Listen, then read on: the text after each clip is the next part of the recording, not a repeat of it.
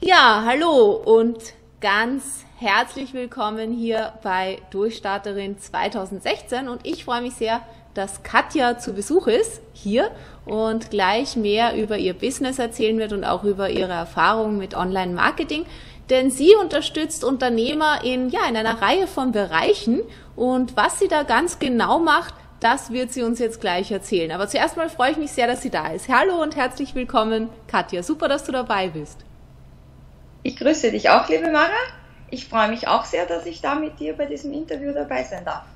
Ja, erzähl doch mal. Du hast mir gesagt, dass du Unternehmer in verschiedenen Bereichen unterstützt. Was machst du da ganz genau? Ich unterstütze schwerpunktmäßig Unternehmer, sich so auf ihr Business konzentrieren zu können, dass sie sich wirklich um ihr Kerngeschäft kümmern können. Das heißt, ich unterstütze Unternehmer in betriebswirtschaftlichen Fragestellungen, rechtlichen und auch organisatorischen Themenstellungen. Mhm. Sprich, äh, arbeite mit ihnen betriebliche Konzepte, Finanzierungskonzepte aus, auch organisatorische Strukturen und versuche eben da die Unternehmer so zu unterstützen, dass sie sich wirklich auf ihre Kernkompetenzen verlassen und, und auf die konzentrieren können. Also was ist da ein Beispiel zum Beispiel von einem Kunden von dir? Also wenn du sagst Kernkompetenzen, was wäre das dann zum Beispiel? Ich arbeite sehr viel mit Leuten aus alternativen medizinischen Bereichen, sei es mhm. jetzt Shiatsu-Praktiker, Coaches, Therapeuten, ähnliches, die eben sehr viel mit ihren Kunden arbeiten und die mich um Unterstützung bitten, wenn es darum geht, wie kann ich eine Preisfindung für meine Dienstleistung angehen, welche Preise soll ich wofür verlangen, wie stelle ich mein Buchhaltungssystem auf, was ist zu berücksichtigen in Richtung steuerliche Komponenten, wie kann ich sicherstellen, dass ich gut verdiene und mir trotzdem vielleicht nicht Sozialversicherung oder Finanzamt dann am Ende des Jahres um die Ohren fahren und, und Vorschreibungen tätigen, die ich gar nicht so vorbereitet habe. Um all diese Themenstellungen kümmere ich mich für meine Kunden. Okay, das ist wunderbar. Das heißt, dann können sich die Kunden wirklich zum Beispiel auf das konzentrieren, was sie am liebsten machen. Also zum Beispiel wirklich die Behandlungen mit ihren Klienten genau. oder Patienten. Also sich wirklich mhm. so auf die Menschen einstellen, weil oftmals sind ja diese Menschen nicht oftmals die, die jetzt so gerne ja, sich in betriebswirtschaftliche und rechtliche Themen zum Beispiel hineinfuchsen. Ne? Genau, und das ist dann der Punkt, wo ich sage, das interessiert mich extrem. Da, da kenne ich mich auch wirklich sehr gut aus und habe eben festgestellt, wenn man da die Unternehmer unterstützt, dann können sich die wirklich ausschließlich auf ihre Kunden konzentrieren. Ja, wunderbar. Sag mal, wie bist du denn zu diesem ganzen Thema Online-Business gekommen? Also ich habe auch gelesen, du hast auch geschrieben, du findest auch sehr interessant und spannend eben diese Möglichkeit auch des skalierbaren Business. Das heißt, mhm. wo stehst du da derzeit und wo möchtest du hin? Ich stehe derzeit für mich an dem Punkt, dass ich sage, ich habe bis dato schwerpunktmäßig diese Beratung oder diese Dienstleistung im 1 zu 1 Coaching angeboten. Mhm. Habe aber festgestellt, dass man da zum einen nur einen bedingten Unternehmerkreis erreichen kann, mhm. weil ja auch mein eigener Tag irgendwann mal enden wollend ist. Mhm. Und habe festgestellt, dass es gerade in Zeiten, wo es mit moderner Technologie, Internet, äh, dass es da auch die Möglichkeit gibt, über Online, sei es jetzt durch Skype, trotzdem in der 1 zu 1 Beratung zu bleiben, aber auch gewisse Themen, die für alle gleich sind, wie Sozialversicherungstermine, steuerliche Komponenten, die in einer Form online zur Verfügung zu stellen mhm. und eben da dann wirklich die, die Zeit oder meine eigene Zeit skalieren zu können und da eine breitere Zielgruppe zugehen zu können. Und da bin ich gerade im Aufbau dieser Aktivitäten. Ah, das ist ja super. Magst du vielleicht mal kurz für jemanden, der nicht so genau weiß, was das jetzt bedeutet, Zeit skalieren mhm. etc., mal kurz erklären, was das ist und warum das interessant ist für jemanden, der Coach oder Dienstleister ist? Das denke ich mir ist insofern interessant, weil ich festgestellt habe, dass gleiche Themenstellungen bei sehr vielen auch in gleicher Art und gleicher Intensität vorkommen. Mhm. Und man dann selber auch viel Zeit für Dinge investiert, die man, wenn man sie anders organisiert, viel schneller abarbeiten kann, effizienter abarbeiten kann und sich so dann eigene Zeit freispielt für unterschiedliche andere Aktivitäten, die einen persönlich wichtig sind. Mhm. Also ich kenne dich ja jetzt nicht so gut, aber ich würde jetzt mal dich so einschätzen, dass du auch ein sehr strukturierter Mensch bist, oder? Das heißt, du bist sicherlich auch sehr gut darin, so Prozesse aufzusetzen, oder? Und ja. irgendwie so die dahinterliegenden Strukturen zu finden. Mhm. Und ähm, wenn man diese Stärke hat, dann ist natürlich dieses Businessmodell ein besonders interessantes. Genau, da denke ich, hast du den, den, den Nagel durchaus auf den Kopf getroffen. Ich würde mich selber als absolut strukturiert und organisiert bezeichnen.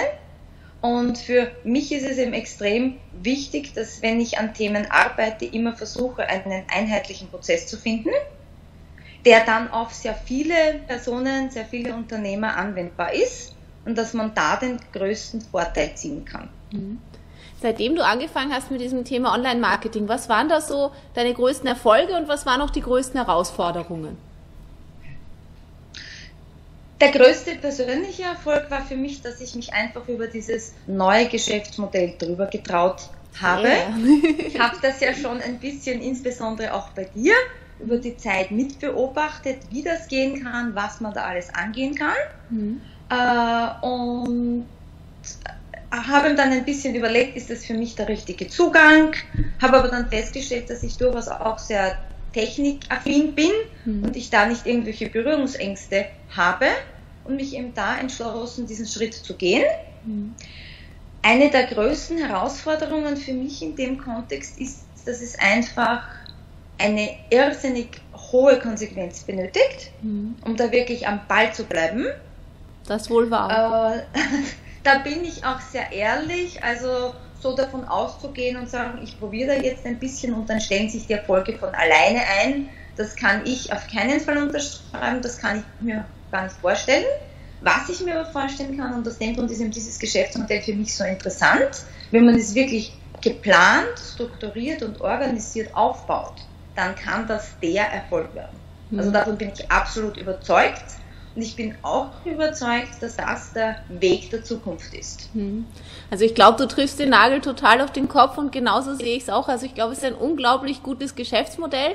Es ist aber keine Wunderpille. Also es ist sozusagen. Genau, genau. Aber Wunderpillen gibt es auch keine. Zumindest habe ich sie noch nicht gefunden. Eben, eben. Also es ist, es ist im Endeffekt genauso harte Arbeit unter Anführungsstrichen. Aber, und das finde ich ja auch so, so schön in den Dingen, die du erzählst, ich persönlich liebe ja das, was ich tue.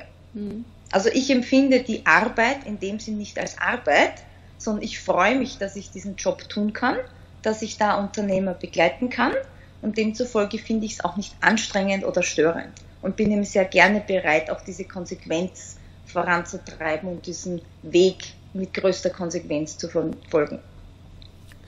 Das heißt also, bei dir sind jetzt alle Unternehmer richtig. Also das heißt, wenn du das jetzt siehst und sagst, wow, also das finde ich total toll. Also für diese betriebswirtschaftlichen, rechtlichen Fragen, da habe ich mir immer schon Unterstützung gewünscht. Dann bist du die richtige Ansprechperson. Und genau. kannst du ein bisschen beschreiben, wie begleitest du dann oder unterstützt du dann deine mhm. Kunden?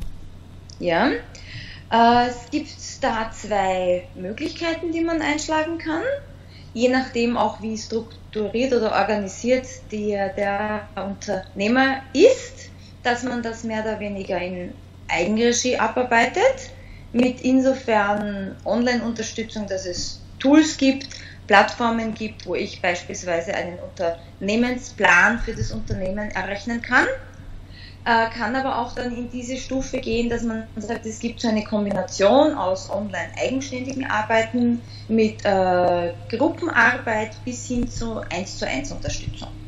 Also das biete ich sehr breit an, weil ich auch aus der Erfahrung vielleicht nicht jeder das so ganz alleine ohne Unterstützung bewerkstelligt. Hm. Wow, also das finde ich ja total super, wie du das beschrieben hast. Das heißt, mir bleibt hier zu sagen, also wenn, wenn dich dieses Thema anspricht, also wenn du Unternehmer bist, wenn du da Unterstützung gerne möchtest, dann nehme ich an, der beste Schritt wahrscheinlich auf dich zu ist, mal im ersten Schritt auf deine Webseite zu gehen, oder? Genau, genau, genau. Magst du deine das Domain noch, noch, noch mal sagen? Hm? Äh, magst du noch mal sagen, ja. deine Domain, wo man dich genau findet im Internet? Mich findet man unter www.katja putzenlechner.eu oder auch AT oder COM. Also gehen alle drei Varianten.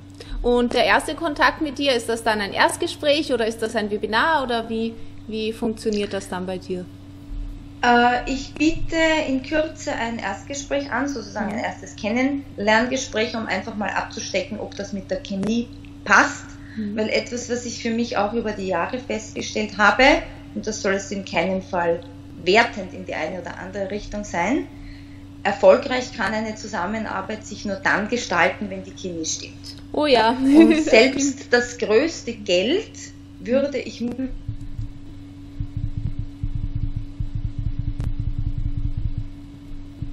wir und den potenziellen Kunden stimmt nicht. Mhm. Also das ist so ein erstes Abstecken, ob die Grundvorstellungen ident sind, ob man auch miteinander gut kommunizieren kann, ob ein Vertrauensverhältnis sich entwickeln kann. Und wenn der Punkt gegeben ist, dann startet die Zusammenarbeit. Also ich bin auch jetzt weggekommen von dem Punkt Kunden auf Biegen und Brechen. Das ist am Anfang vielleicht okay aus, aus, aus finanziellen Gründen, aber mittelfristig absolut unbefriedigend. Genau, man wird einfach selektiver dann mit der Zeit und man spürt eben auch mehr, was passt zu mir und dann genau, genau und im genau. Endeffekt, das ist ja auch etwas, das kann man auch äh, Unternehmern mitgeben. Ne? Also die falschen Kunden anzuziehen und mit denen zu arbeiten, das ist vielleicht kurzfristig interessant, mhm. aber langfristig merkt man dann, dass ja. einem das ganz schön viel Geld kostet eigentlich. Ja, und auch irrsinnig viel Energie. Mhm, genau. Weil ich ja auch für mich den Anspruch habe, ich will mit jedem Kunden gerne in die Arbeit gehen Mhm. Es soll halt mir Freude bereiten, weil nur wenn ich da sehr freudig dran bin und mit vollem Enthusiasmus, dann stellt sich ja auch beim Gegenüber der Erwarte der Erfolge ein. Das hast du wunderschön gesagt. Ja, dann bleibt mir nur zu sagen, nutze die Gelegenheit, also gehe gleich auf die Webseite von der Katja, trage dich ein, melde dich an für so ein Gespräch. Schau, mhm. was da an Möglichkeiten gibt, weil ich kann aus eigener Erfahrung sagen, wenn man beginnt, sich wirklich auf das zu konzentrieren, was man am besten kann und wo die eigenen, wie du es so schön genannt hast, Kernkompetenzen liegen, dann setzt das eine unglaubliche Energie frei in den Bereichen, wo man eben richtig gut ist, indem man das ja delegiert oder sich da Hilfe holt, kann man eigentlich sagen, wo man selber nicht der Experte ist und das ist eine ganz, ganz wunderbare Business-Entscheidung. Ja, dann sage ich vielen, vielen Dank, dass du hier dabei warst. Vielleicht noch eine letzte Frage fällt mir gerade ein. Was sind denn so deine Tipps für eine Unternehmerin oder einen Unternehmer, der jetzt noch ganz am Anfang steht, also der sich vielleicht auch überlegt, irgendwo ja Online-Marketing, Online-Business, das finde ich total interessant und spannend, da würde ich gerne was machen. Bin mir aber noch nicht so sicher, ob ich es machen soll und wie. Hast du da so zwei, drei Tipps auf Lager für so jemanden? Äh, trifft sich insofern gut, weil ich erst vor einiger Zeit einen Blogartikel dazu geschrieben ja, habe, super. auch unter dem Thema, wie gefährlich ist die Selbstständigkeit. Weil ich finde es immer ganz schlimm, wenn erzählt wird, Selbstständigkeit ist so gefährlich. Also ich bin ja für mich zu dem Schluss gekommen, es ist genauso gefährlich, wie wenn ich über die Straße gehe und mich ein Auto irgendwie anfährt, mhm. wenn ich einige Voraussetzungen erfülle. Also der erste Punkt ist, dass man etwas können muss. Mhm. In welcher Art auch immer, aber ich würde keinem empfehlen, sich mit so Halbwissen in irgendeiner Form in die Selbstständigkeit zu stützen. Also das heißt, es, es braucht Fähigkeiten, die ich in irgendeiner Form an den Kunden bringe. Ich denke auch, oder ich bin mir sicher, dass es einen Plan benötigt. Also einfach mal anzufangen und zu sagen, naja, ja, da wird schon irgendwas jetzt rauskommen. Das kann gehen. Es gibt immer wieder auch Exempels, die das statuieren. Ich würde aber jetzt nicht davon ausgehen, dass das für alle in gleicher Art zutrifft. Das heißt, da ordentliche Planung, ein gewisses Risiko ist immer drinnen, aber ich denke, es gibt ein planbares Risiko und der dritte aus meiner Sicht wesentliche Punkt ist, ich brauche eine Zielgruppe. Mhm. Denn den Personen, die alle unterstützen, unterstützen im Endeffekt keinen einzigen. Also jetzt weg von diesem, ich kann von A bis X alles tun, weil dann fühlt sich auch das Gegenüber gar nicht angesprochen. Mhm. Dass es irrsinnig wichtig ist, je schärfer die Zielgruppe, je präziser die Zielgruppe, desto größer die Erfolgswahrscheinlichkeit. Mhm. Also das wären so die ersten drei Tipps, die ich so mal ganz an den Anfang stelle. Ja, vielen Dank. Das sind drei sehr wertvolle Tipps und ich würde ihn gerne um einen Tipp noch ergänzen und zwar such dir wirklich kompetente Hilfe. Das heißt, wenn du an dieser Position stehst, such dir Hilfe, so wie bei der Katja. Die kann dich ja nicht nur dabei unterstützen, dir diese Tipps jetzt so zu geben, sondern die auch wirklich, ich sag mal, zu implementieren in dein Business und die wirklich für dich anzupassen. Und das ist einfach ja, sehr, sehr gut investiertes Geld, kann ich einfach nur aus eigener Erfahrung sagen. Also wir sind inzwischen so, ich lasse mich bei allem coachen. Früher wollte ich mal alles alleine machen. Gott sei. Dank mache ich das nicht mehr. Und äh, seitdem ich das ja. mache, muss ich sagen, läuft es viel, viel schneller und viel, viel runder und ich kann mir viel Zeit, Ärger, Geld und Nerven im Endeffekt ersparen. Nein, das kann ich im Endeffekt nur ganz, ganz massiv unterstreichen. Auch ich selber suche mir immer wieder externe Unterstützung, weil es gibt einfach Dinge, wo ich sage, das kann ich mir vielleicht auch alleine arbeiten. Ich bin aber viel effizienter und schneller, wenn ich mir wirklich professionelle Unterstützung dazu hole. Wunderbar, super. Dann vielen, vielen Dank, dass du dir die Zeit genommen hast, hier dabei warst. Und ähm, alles, alles Gute für dein Business und natürlich für die weitere Entwicklung, jetzt auch online und in die skalierbaren Geschäftsmodelle. Vielen lieben Dank auch an dich, liebe Mara, an der Stelle für dieses tolle Interview. Ich habe es sehr spannend gefunden und habe mich eben sehr gefreut, dass ich da in diesem Interview bei dir teilnehmen durfte. Sehr, sehr gerne. Danke.